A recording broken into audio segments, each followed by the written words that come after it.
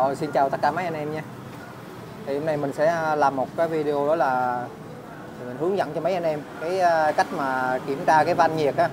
Thì à, mỗi lần mà anh em làm cái gì mà nó liên quan tới hệ thống nước á thì tốt nhất là mình sẽ kiểm tra cái van hàng nhiệt cho anh em.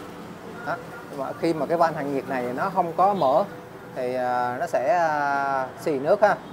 Đó, và nó báo nhiệt lên thì anh em à, nếu mà tháo các nước ra mà thay các nước hoặc là làm máy gì đó thì tốt nhất mình cũng phải test lại cái à, van hàng nhiệt nha anh em. Để coi nó có mở không. Chứ nó không mở mất công mình ráp vào rồi mình phải à, tháo ra nữa.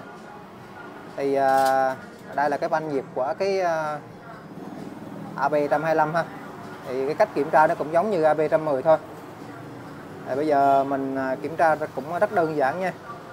À, đây là mình đang nấu nước sôi này giờ mình bật nước lên mình nấu nha anh em đó. Mình nấu bằng cách nước sôi. Thì anh em sẽ nhúng cái nước sôi ờ, bỏ này vào ha. Nước sôi sôi lên xong rồi anh em sẽ ờ, cho vào đây. Thì anh em sẽ quan sát ở trên cái cái van này. Thì chúng ta sẽ thấy nó nó mở ra nha nè nó mở ra. Còn trường hợp mà nó không mở nó ở nguyên cái vị trí này thì anh em phải thay một cái van cái van mới ha.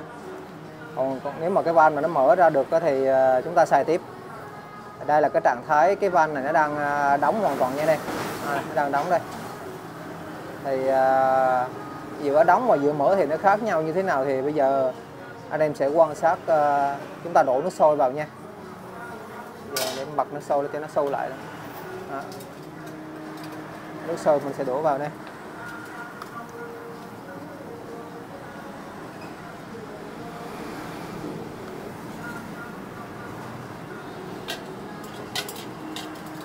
Vậy mình lấy cái kèm.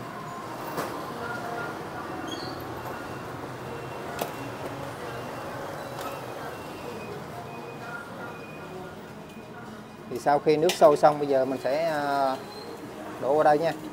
Đó, bây giờ anh em sẽ quan sát này.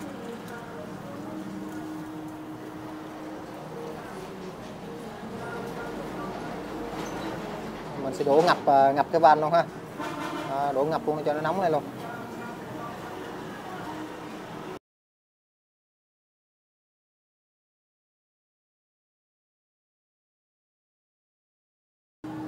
À, đây em thấy nó mở đúng không? Đó, nó đang mở rồi đó.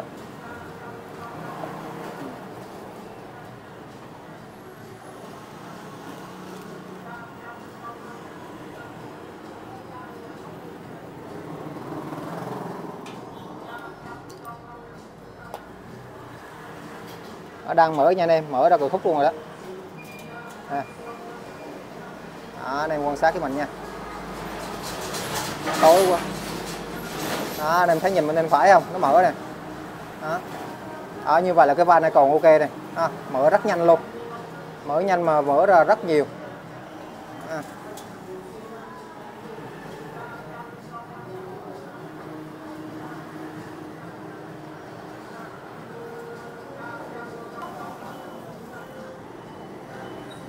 đó như vậy là cái à, video mình à, chia sẻ à, cái cách mà kiểm tra cái van diệt cho mấy anh em à, mới à, vào nghề sửa xe ha.